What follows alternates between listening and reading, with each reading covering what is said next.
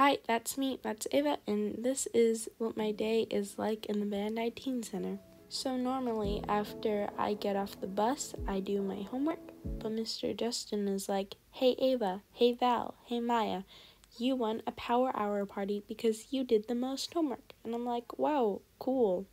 But then cooking club started, so I did that and we made some yummy noodles. However, as I was slurping up my noodles, you know, having a good time, I realized the social was a Connect 4 tournament.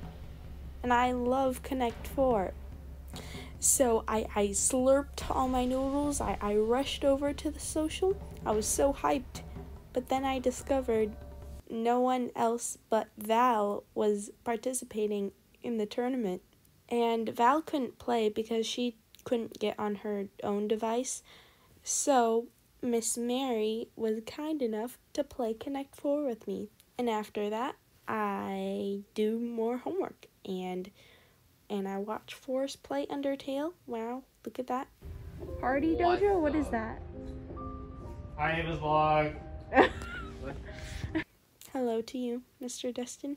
And then I get a call from my parents, and then I head out, and boom, my day is done. And uh, have a great day. Bye.